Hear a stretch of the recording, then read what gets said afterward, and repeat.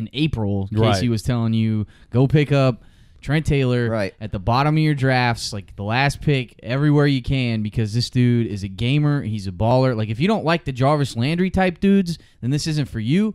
But like I don't know why you wouldn't like the Jarvis Landry type guys, but this this Oh, Trent this Taylor is- guy, He's he's got just he he's can got a little he's got he's got Wes Welker kind of I know it's it's got a Ben Affleck ridiculous over there. comparison because I'm just comparing slot white guys. Yeah, yeah. I mean, he I feel, I feel like he's a little more than than well, maybe not more than Jarvis Landry. I guess Jarvis Landry just No. because I found- Jarvis I find them- just fine. yeah. Yeah, I find them very similar. Like they're both they both have really strong hands. Like they're not afraid to go anywhere over the middle. Them boys make catches anywhere outside their body. They're good at getting down and avoiding contact. They can make the wow catch. They're ridiculous you miss. after the catch. Yeah. Yeah, the yards after. I yeah. think Uh, well, like I don't know why you wouldn't like that kind of thing. I know there was a.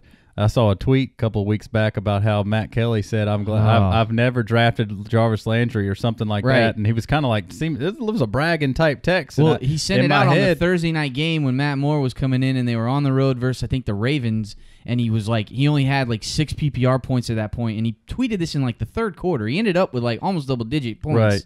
Well, I, I saw that, and what I, I said to myself was like, well, good thing you stayed away from all those PPR points, buddy. Right. Good for you. Good thing Yeah. you dodged all those efficient, uh, uh, weekly, just 15 point per week average. Good thing you stayed away from that's what those. you're Yeah. looking for. I Yeah, definitely don't want a bunch of consistent Yeah. Double want- digit PPR games. You definitely don't want to be taking the guy who's like second in catches is in the most three years in his career. Yeah. You know, the most Right. catches in three years than ever. You don't you don't want you don't want that guy on your team. Right. Good thing you stayed away from him. yeah. Well, and thanks I- for telling us. I brought I brought kind of Trent Taylor up when we were talking the like maybe second round of the mock it up, fuck it up. When I was watching a lot of Carlos Henderson, which is also a name maybe to not forget. Sure. Right. And you know, I, we we we we did uh, like the prospect there, and he hasn't played much, so he could be at the bottom of somebody's bench and, and obtainable. But there was this little white guy bopping up all over the place in these highlights. Won't and- be denied. No, Scoring just- t- mad yeah. touchdowns. Just Dragging beasting his way into the end Yeah. zone. So He's not going to beast dudes into the end zone in the NFL, but he does make guys miss, and he is super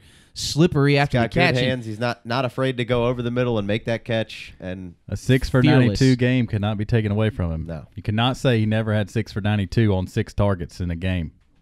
It happened already. yeah. Little Trent Taylor. And he's he's been up and down all, all season with, with some targets, but it's just and I he think broke it's some get ribs, little, so he was yeah, out, and then now his snaps are coming back You're up. gonna get a little though- more consistency out of him here, I think, in in this back stretch, and I think you might really see what Trent Taylor's kind of Jimmy likes him on Made third here. down.